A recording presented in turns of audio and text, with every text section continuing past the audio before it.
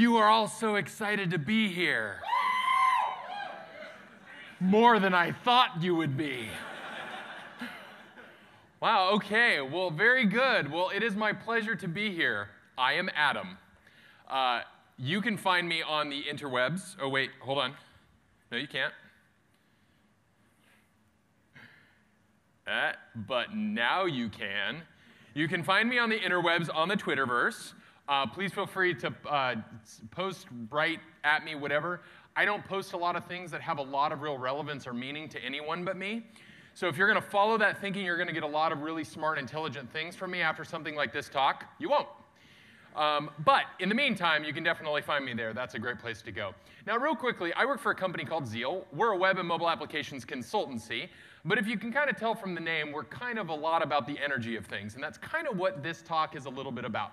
It's not just about positive energy or positive thinking. Really, it's about things like difficult conversations. And more specifically, what this talk is, is a practical guide on human psychology. And I'm highlighting the practical part here because, more specifically, if it's not able to be put into practice, it's very, very hard to, to really create any meaning in your own life. Now, what I discovered was that um, uh, clearly I'm a person that has a big and extroverted personality. Um, and that was, not, that was something that I found that was really fearful for some people. Uh, and that, that really was kind of like hurting like quite a bit to me because I realized like um, there were people that wanted to say something, wanted to talk to me. As an employer, I had members of our team that uh, didn't feel comfortable coming in and talking to me. And so I had to take this real kind of reflective stance back on things. And in doing so, I realized there were a lot of things I was doing that were not helping the situation. But similarly, there were simple things that they could have done to help me as well better understand what, what was going on for them. And so this talk, again, is about the human psychology after a bunch of research that I had done um, and practices that I'd put in for myself, as well as um, helped other members in my life, not just on our team, but in my own personal life, to help uh, us to communicate a little bit more so. But we're going to start here and that is we're going to talk about state. Now, I'm not talking about the OO, uh, object oriented side of state. We're not talking about programming here. I'm talking about things like state of mind. And specifically, the things that we do that empower us mostly start from here, and that is state, the state of mind that we are in moving forward. Now, this can be broken up into three different things, and we're going to start here with physiology. So here's what I want you to do. Um, is I want you to take a moment, I want you to put yourself in a semi-neutral position in your chair, and I want you to close your eyes. And just breathe in and breathe out, just simply and easily. Don't worry, nobody's judging you but me because I'm the only one who can see you. Exactly. But I want you to just breathe in and breathe out for a minute. Now, what I want you to do is I want you to visualize with your eyes closed a time in which you had had to confront somebody or were confronted by somebody and you, had, you were put in a position that was very uncomfortable. I want you to just visualize that. And with every breath you take in, I want you to breathe that moment more and more into your body, physically into your body. And with every breath out, I want you to let go of the room and today in this very moment. I want you to just breathe that moment in for a moment. Think about what you're visualizing in your mind. And think and analyze your body. Go toe to top of your head, and where does this come up? Do you feel it in your toes? Do you feel it in your knees, your gut, your heart, your head? Where do you feel it? Physiology can change everything. So go ahead and open up your eyes. Raise your hand if you identified a spot on your body in which you could feel the confrontation, the anxiety, or anything along those lines. It was easy, it was relatively palpable. Now raise your hand if you could not. Okay. So, the next quality we're going to talk about real quick is language. And specifically, the language that we use and, and the story that we tell ourselves when it comes to this moment, right? So, I want you to think back just to a handful of seconds ago, and I want you to think about what was the language you were using in that moment to yourself? What were you telling yourself? Were you saying that, oh, I'm weak and whoever this individual is is going to beat me down? Or was it the opposite? I'm going to kick some ass right? What was the language that you were using? Because this is really important because the language we use ultimately defines the story that we tell. And the story that we tell ourselves ultimately creates the belief systems that we're going to have as we go into a given situation. Now, here's the beautiful thing is we can control all of this stuff because the last and final bit of state is focus. And the thing that we ultimately choose to focus ourselves on is the thing that will drive us and empower us forward to either be able to handle the situation, get out of a bad situation, or turn a situation around from something that isn't good and constructive to something that's productive and is. Right? So again, it goes back to these three items. First is physiology, the second is uh, language, and the third is the things that we focus on. Now, all three of these things set our mental state, and in reality, in that order. I would be willing to bet you that more often than not, your physical state is the most radically affected by your physical change.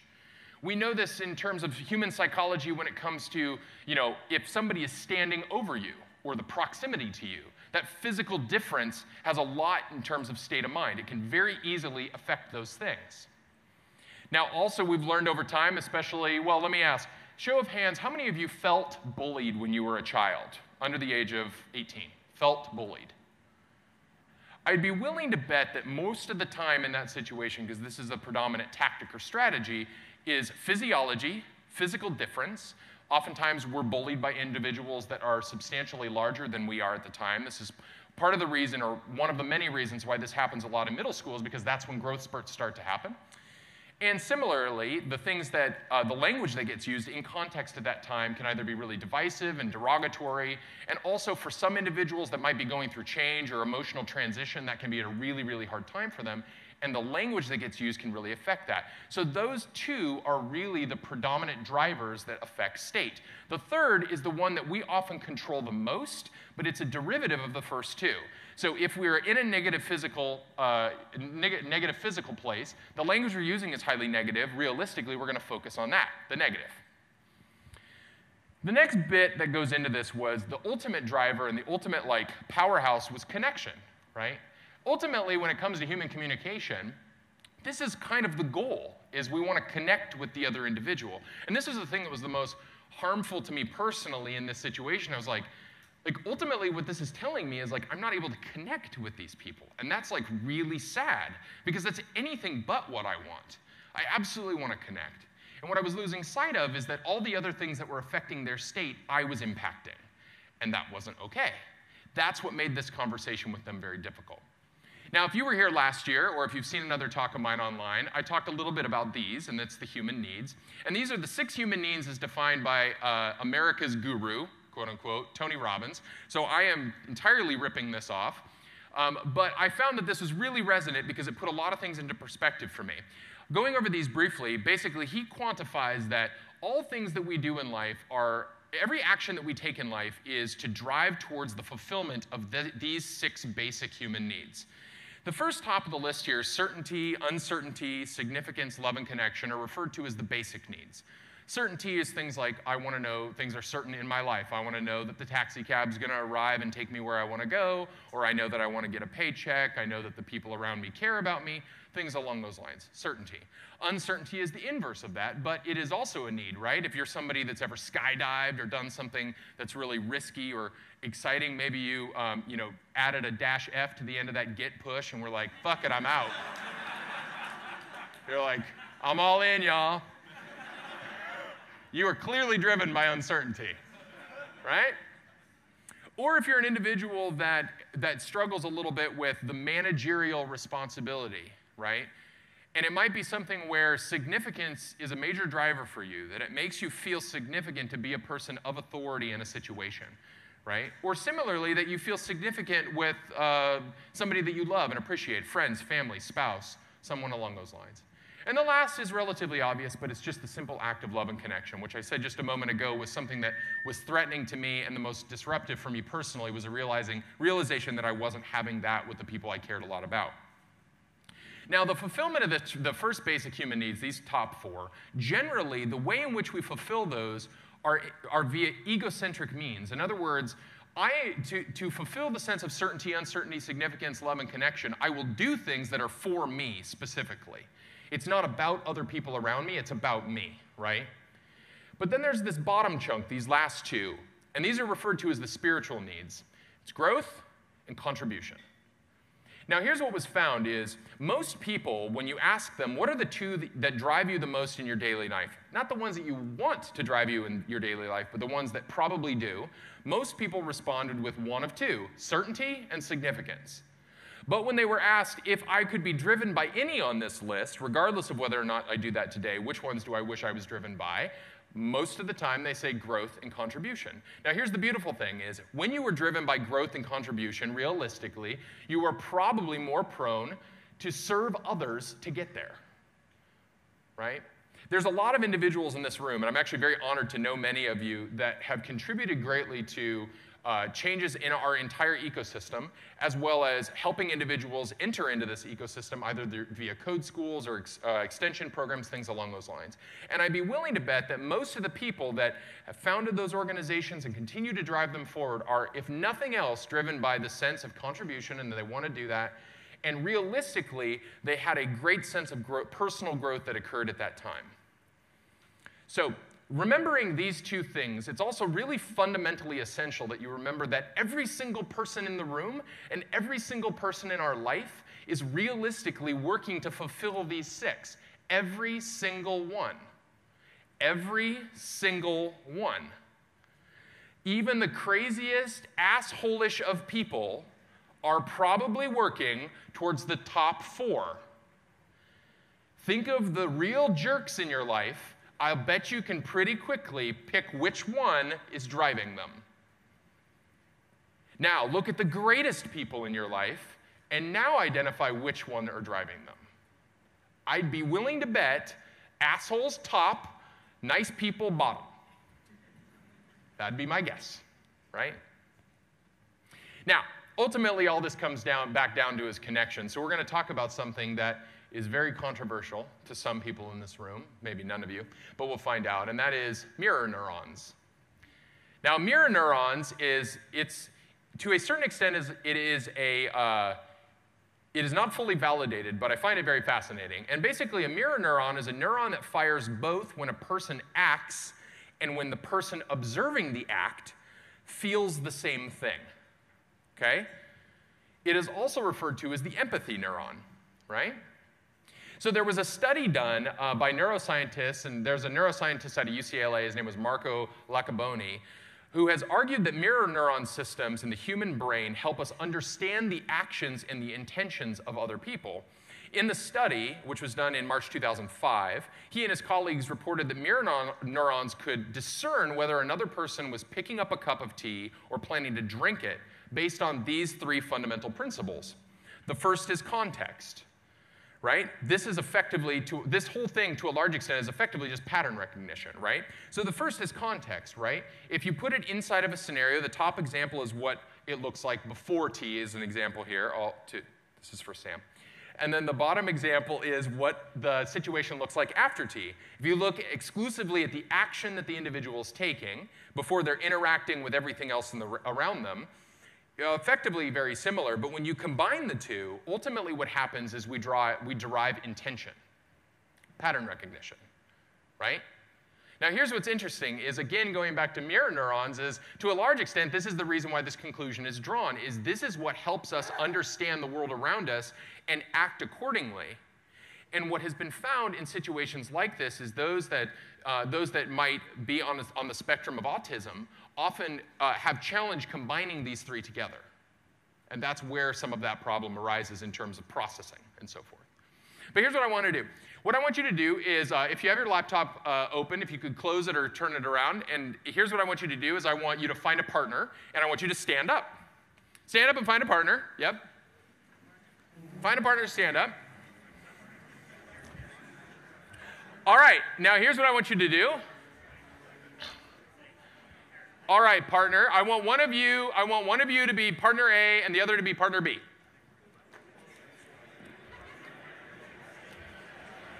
All right, excellent. Once you've determined A and B, put your hand up. Excellent. Okay, very good. So here's what I want you to do. Person A, I want you to listen very, very closely. Person A, raise your hand if you're person A. Excellent. Person A, listen very, very closely. Here's what I want you to do I want you to maintain totally neutral, unemotional, unattached, like nothing. You are blank slate. You are a white bo- empty whiteboard. You are a nothing, nothing. You are a nothing. You got me, A? Say yes. Excellent. Okay, person A. Now, person B, I want you to look deeply in the eyes of person A. I, person A, didn't you just commit to me that you are going to be nothing? Person A, did you not commit that? Yes or no? Yes, you did. So you will do this, person A. I want you to be neutral and I want you to look at person B. Look at person B, be neutral. Look at B. Person B, look at person B. Okay. Now, person B, I want you to be neutral. Be neutral. No emotion, just be neutral. Person B, I want you to smile softly at person A. Smile softly at person A. Five more seconds. Just smile softly at person A. Okay, you can stop your gaze. Okay, so I want you to, now I want you to do is I want you to switch. Okay, now here's the thing person B or person A, you've already been given the hint here. You are mentally ready for this. Am I right? Wrong? I'm right. Okay, so I want you to do this again. So, person A, you are going to become, wait, yes, totally neutral, no emotion, hold true. Person B, I was wrong the first time, and yes. Person B, totally neutral, no emotion, clean slate. Okay, you've already been ready, you're already prepared, you've got nothing being thrown at you, okay? Now, person A, look at person B in the eyes and smile gently.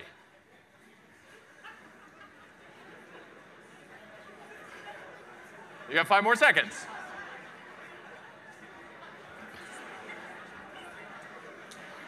All right, very good, very good. Okay, give yourself a hand.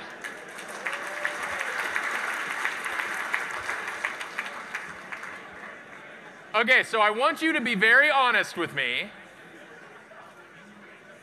This is not a competition, but I want you to be very honest with me. I want you to raise your hand if you were a person that was able to maintain a totally straight face, no emotion. Totally straight face. Okay, now look around the room. So we're looking at like what? A percent of you, maybe, right? What's wrong with the rest of you?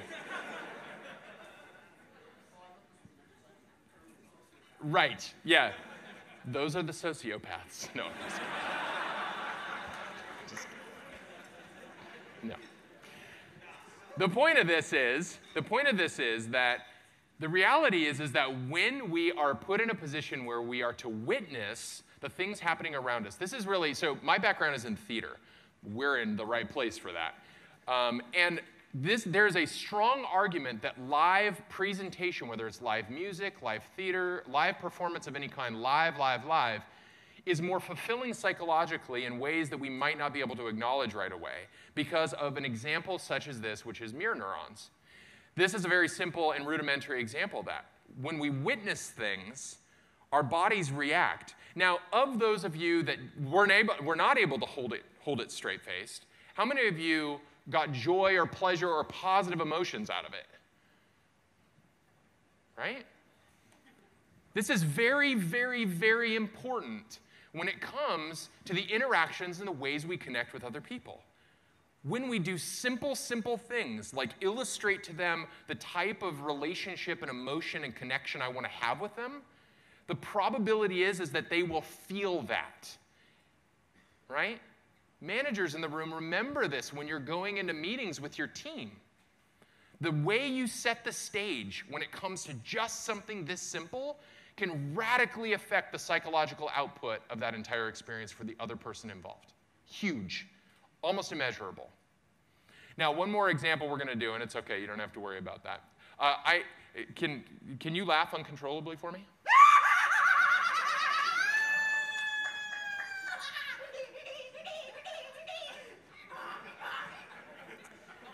That works. Why are you clapping? Because there's crazy people in this community. right? Absolutely. Okay, so this is the thing is that, again, another example of that. Think of all the, the really cute baby videos that are out there, just little kids laughing that we watch on YouTube. Why does that matter to us? It's because of this same reason. Keep this in mind. Remember this that empathy is the currency of connection. The more we empathize, the more connection we have. So remember that. Empathy is the currency of connection. Okay, so let's get actionable here and let's talk a little bit about navigation in terms of how we navigate through this stuff, like things like difficult conversations in our life or difficult situations one way or another. To remember this, that my feelings are based on my perceptions, right? My feelings are based on my perceptions. There's a term in neurological or uh, neurolinguistic programming. I was going to use the NLP, but that means something different to our group. Um, but neurolinguistic programming, that is the it's the concept of anchoring. Now, how many of you have a negative association to just this image? Right? It's just an image. How many of you have the exact same alarm clock? Right? He's like, that's my alarm clock, dude. where's my where's my credit? I know, totally. Um, this is true. Is that that there is oftentimes what happens for us is we have anchors. If you look at all of the negative experiences that you've had with interacting with other people, I would be willing to say, I would be venturing a bet that realistically, those, those interactions that you've had are, are making it harder for you to enter very similar situations. There's an example that's given when it comes to those at a funeral. And the simple example is this that one of the things to be mindful of is when people are in a really strong emotional state, right? Um, especially something that's highly negative. Physical touch, remember, physiology affects state, and that physical anchor can lock itself in to where, li- quite literally, when I touch that same spot, it can trigger subconsciously emotions to be discharged for that individual. And as an example, if I was to go up to somebody who had a grieving, uh, who was grieving the loss of their father, and I was to walk up and say, "I'm so sorry for your loss," and touch them on the shoulder. Next person up, walks up and says, "Oh, I'm so sorry for your loss," and touches them on the shoulder. Five other people do that. You have any idea what could possibly happen if that happens again? Right? Now, here's the challenge with this, and I realize that this is the other side of the difficult side of conversations that exist is you may, you may have no idea what anchors exist for another person. In fact, it's highly probable that you'll have absolutely no clue and that they might not even know. But you have to know that that is very likely for them. So, the only way to really dive in and understand what the balance of that looks like and what all those components are is to understand the story. Because ultimately, while my feelings are based on my perception, my feelings can be negotiated. They can change. I can change the way I see and feel things, especially around the things that I am most connected to. So, preparation for conversations like this and situations like this is really essential for both individuals that are involved, right? It's really essential for a lot of reasons, but mostly for those three reasons I was giving before physiology, language, and focus. If you're not in the right mental state and you walk into a situation and you're focusing on the wrong thing, then your preparation and that conversation may very well go the wrong direction, or at least not be as predictable and as certain that you might want it to be. Now, if you're one of those uncertainty people, you just walk blindly into things and you're like, and that's what you do, and that's perfectly fine too. But the first thing I'm going to go over is breathe. So here's what I want you to do. I want you to take a second. I want you to put yourself, sit in a neutral position again. I'm going to teach you a very simple breathing exercise that you can do at any point in time, anywhere in your day, and it will literally only take you less, it will literally take you less than a minute. Okay, so here's what I want you to do. I want you to just sit there for a moment. If you need to put your hands on your legs, that's fine too, but just be as neutral as you can. I want you to breathe in on a count of five. I want you to do your best to hold it for a count of 20. Do your best, and then let it out on a count of 10.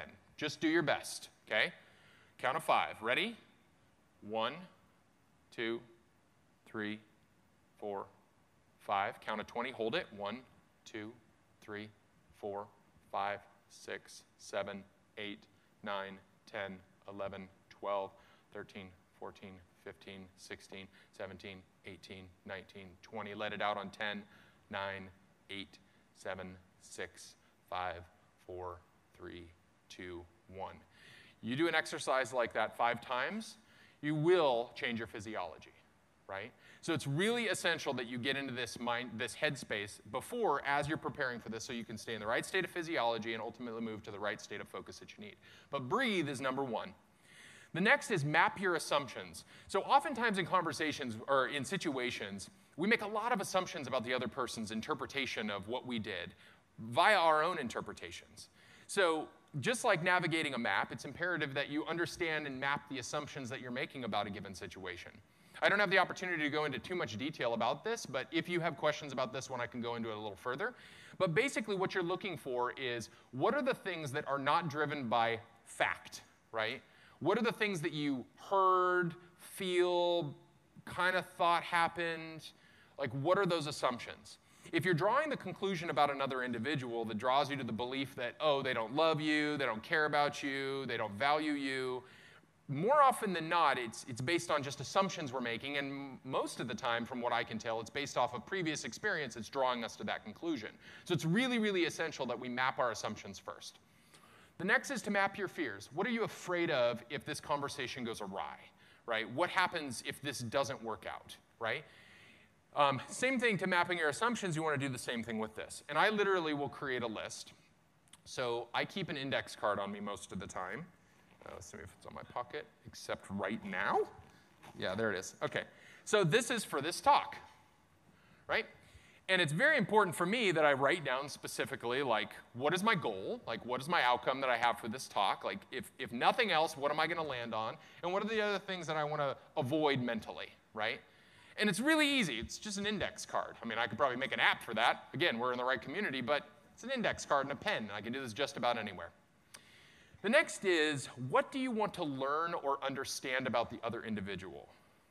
This is also very important. Going into a conversation where you're seeking to learn automatically moves you from the top four basic needs into the bottom two of growth and contribution instantly, just like that. If I'm looking for a reason to connect with you because I want to learn something about you, even if you're the most detestable individual I can imagine and fathom, it immediately puts us, it, it puts us in a space where we can be really constructive and productive. But remember this understanding does not mean acceptance. Just because you understand where they're coming from doesn't mean you agree with it. Okay, so remember that. Um, and this can be very helpful again when you're in a situation where you know things are tough and you there's a lot of people in this world that I can't imagine sitting down with because there's nothing about what they think that I agree with. But if I go into it trying to learn something, then at least it can start to be constructive. And then the last is what I said told I wrote down on this card, which is know your outcome. What's your outcome in the conversation? Even if somebody's coming to you, what is your outcome? For me, my outcome most often not, especially right now, is to connect and learn. I just want to learn. Um, what? I don't know yet. Well, I don't know what this is going to be about, but that's okay. So I'll just connect and learn. Now, you've done all the preparation. It's now go time. So we're going to breathe again. Make sure you breathe. If you're going into a situation like a, maybe a salary negotiation, or in my case, we work with a lot of clients where they've got budgets or they're going to try and talk us down on numbers. That's my story, right? These are the types of things that I need to make sure that I've got my, my head uh, and my state in the right place. The next is to make it safe. This is really important as well. And as somebody that um, is wants to meet somebody where they're at, I will try and be the one that puts myself into their situation, their physical situation. Um, if it's their office, their location, I will call them. I'll put myself in a place where I'm mentally ready to have a conversation with them, but I'm going to make it safe for them. And similarly, is to ask them or to, to try and pick up what makes them feel safe. And if at any point in time you feel like you're not achieving that or there's something that's not going that's going awry, it is perfectly acceptable to acknowledge that and perfectly acceptable to reschedule in life. That's okay too. Then the third is to explore the story. And this is oftentimes in a situation where there's confrontation or conflict. It's, it's very important to remember that belief systems are, are a derivative of old experiences most of the time. And if you start to explore the story, how somebody's understanding an action or a thing that's happening around them, then it's easier to empathize with them. Um, again, just because you understand it doesn't mean, doesn't mean you agree with it or accept it. But what it can mean is that you can understand it and help, help identify how you can work and grow together. Also, very important is to acknowledge their contribution and acknowledge their feeling, whether you agree with it or not. By simply acknowledging it, it just helps level the playing field. It's like you're human, I'm human, we're just, we can find a way to work through this. And I recognize that what you feel is what you feel, regardless of whether or not I agree with how you got there. That's, that's irrelevant. What's relevant is that you feel that way. And similarly, is to recognize the contribution that somebody that I have made to this positively or negatively, and to allow them the opportunity to do it, not necessarily do it for them. Okay? So I can say, I feel like I've contributed to this because I just didn't give you the chance to speak your mind at the time. I feel like I must have cut you off or just kept this from being con- constructive, and I just want you to know that. Like, I'm acknowledging that that could have been a major player in this. Then inquire to learn, ask questions. Do as much as you can to learn what you can from the situation that you're in. And then ask open questions. And here's some examples. So instead of, uh, you're full of shit, I could say something like, can you help me understand better your perspective? right? Can you say a little more about how you see things? Uh, what information might you have that I don't have? That is really helpful, and that's something I realize a lot is like I'm privy to in our company, I'm privy to information that I forget other people don't have. So when they get frustrated and they get all this anxiety, it's so easy for me to overlook the fact that they don't know what I know. And so they have nothing but uncertainty going on in their life. Well, it's an easy question to ask. Like, what information do you think I have that you don't have that could help you, right? Um, what impact have my actions had on you? How do you see it differently? Again, not that I have to agree with it, but just I want to know. I want to explore the story. Last two things, and then we're good to go. So, confrontation. In the event that you experience confrontation with another individual, and, the, and uh, it happens a lot, raise your hand if you've ever experienced a confrontation with somebody. Keep your hand up if it's been physical. Yeah, totally. It happens to a lot of us, more, more than the psychopaths in the room. Just kidding. Yeah. Right? It's, this is true, that confrontation is really, it's, it's, it's a very powerful thing that most of us have experienced in our life. So I'll give you a couple of real quick things. Number one is physiology, language, and focus. If you can change those three things, then oftentimes the confrontation will disperse. A simple one is in the event that, like, anytime we're having an argument, so anytime my spouse and I get into a case where we're just like, we're butting heads pretty hard, the very first thing we'll do is change location. Very first thing. Just physically move, right? That will more often than not at least bring the, diffuse it down to half or some arbitrary percentage. Just, just help move that along. Language we sort of talked about, but oftentimes when I start to ask the question to help understand them a little bit better, that gets their language identify, uh, that helps them identify what language they're using and helps me understand as well. And I can start to mirror the language so that we can, again, have this sense of common ground. A lot of this stuff are, are the things that we just experience. Again, this mirroring model. And then the last is focus. So we experience this with family members that struggle with depression or struggle with anxiety. And again, most of the time it's, it's what they're focusing on creates this downward spiral from them. Yes, there's many other factors as well, but that is also one that can be very helpful to kind of address and change. So if you can help change their focus onto something different, and I don't mean make a joke or something along those lines, I mean just help them see another way. As an example, um, we, work, uh, we do a lot of hiring, as do many of the companies that you work for. And I find it's very common for individuals to come into an interview and they're focusing on their lack of experience, right? And my favorite question to ask is yes, but what are you the most experienced at? And everybody's got an answer.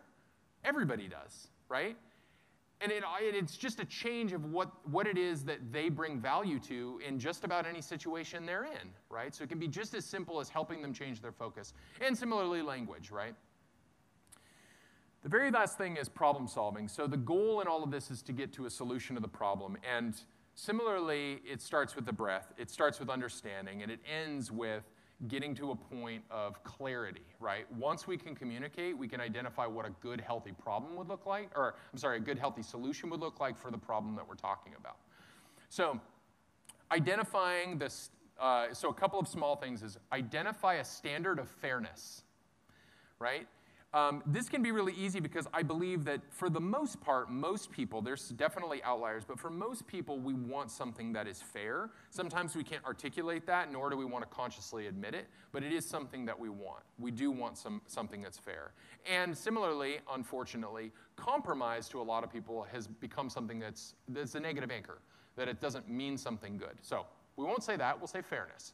Like, what is fair? And if you can define what the standard of fairness looks like, then now you can strive to solve a problem that is within those boundaries. And it's kind of hard to say that, well, we discuss, I mean, we've discussed what's fair, we've set that tone for what becomes fair. Now, once we meet that, isn't that good? And if we can be good with that, then it can resolve. Sometimes this happens over many, many sessions. Sometimes it happens inside of a minute. It, time is irrelevant to this, but when that becomes the goal of finding something that's fair and reasonable for everybody that's involved, pretty easy to get there. So, this is difficult conversations. I know that you've all experienced it. I'd be more than happy to talk to anybody else if you have questions about it, um, some tools or a situation that you're in that you'd like some maybe thought, or um, I would love to learn more about your story, okay? My name is Adam Cuppy. I'm from Zeal. You can email me if you need to. It has been my pleasure. Thank you all so much.